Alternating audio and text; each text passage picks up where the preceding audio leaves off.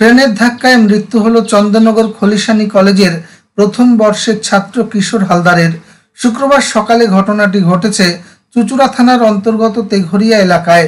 মৃত ছাত্রের বাড়ি কেওটা নেতাজি নগরে, বয়স উনিশ বছর। এদিন ওই ছাত্রের জন্মদিন ছিল। তাই সকাল সকাল স্নান করে নতুন জামা কাপড় পরে বাড়ি থেকে বেরিয়ে পড়ে। এরপর প্রেমিকা শ্যামাপ্রসাদ উচ্চ বিদ্যালয়ের দ্বাদশ শ্রেণির ছাত্রীকে সঙ্গে নিয়ে ঈশ্বর বাহার কাছে কাটোয়া রেলগেট এলাকায় আসে।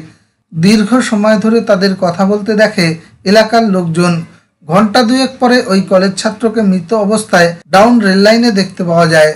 কান্নায় ভেঙে পড়ে প্রেমিকা। এলাকার মানুষ তাকে রেল লাইনের ধারে উদ্ধার করে নিয়ে যায়। এই ঘটনা নিয়ে মুখ খুলতে চায়নি ওই ছাত্রী। সাত সকালে এমন মর্মান্তিক মৃত্যুর খবর পেয়ে ঘটনাস্থলে ছুটে আসে কিশোরের পরিবারের লোকজন। ঘটনাস্থলে এসে কান্নায় ভেঙে পড়েন তারা। কিশোরের বাবা নির্মল হালদারের দাবি, সম্পর্ক নিয়ে পরিবারের কোনো সমস্যা ছিল না। এমনকি তাদের বাড়িতে নিয়মিত আসত বলেও দাবি করেন পরিবারের লোকজন। তাই কি কারণে এই ঘটনা ঘটল? তা বুঝতে পারছেন না। আপনাদের পাড়ার বলুন না আমাদের নয় দিকে থাকে। হ্যাঁ, আজকে আমি কিছু বলতে পারব না। সকালবেলা সেজে গুজে বাড়ি থেকে বেরিয়েছি। আচ্ছা। ব্যাস তারপরে তো সকালবেলা ফোন এসছে এই অবস্থা। আজই জন্মদিন এমনি কি ঝগড়াঝাটি কিছু ছিল। বাড়ি বাবার ছেলে ছিল রাত্রেবেলা ঘরে মা তো কাজে গেছিল। প্রেম টেমে কেউ বাধা দিত? তাই বলতে পারব না সেটা। আর বাড়ির লোক কি আপনারা বারণ করতেন?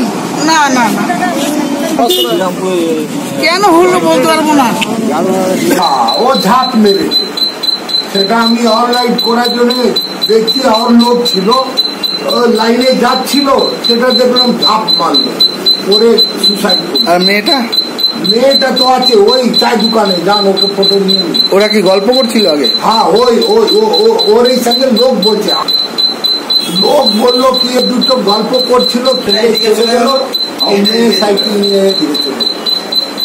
আবার ওদিকে সুসাইড করল তারপরে পনেরো কুড়ি পঁচিশ মিনিট পরে আবার ছুটে আসছে তো লোকজন ধরে ওকে বসিয়েছে নাহলে এও সুসাইড করে দিত কোথায়?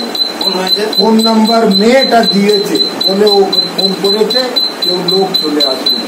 দুর্ঘটনার ঘণ্টা দুই পরে জিআরপি থানার পুলিশ এসে মৃতদেহ উদ্ধার করে। প্রাথমিকভাবে আত্মহত্যা মনে হলেও এই মৃত্যুর পিছনে অন্য কি কারণ আছে তা খতিয়ে দেখছে পুলিশ।